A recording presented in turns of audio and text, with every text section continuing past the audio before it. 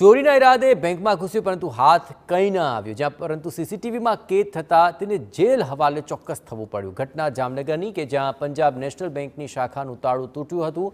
બેંકમાંથી કોઈપણ રકમની ચોરી તો ન થઈ, પરંતુ તાળું તૂટેલું જોવા મળતા સીસીટીવી ચેક કર્યા, જેમાં તસ્કર જોવા મળ્યો હતો. બાવીસ વર્ષનો આરોપી સાયકલ પર બેંકમાં લૂંટ કરવા પહોંચ્યો. જોકે તેણે ફાંફા માર્યા, પણ કશું જ હાથ લાગ્યું નહીં અને ચોરીનો પ્રયાસ પણ નિષ્ફળ ગયો. જોકે પોલીસે ગણતરીના કલાકોમાં જ તેને પકડી પાડ્યો છે.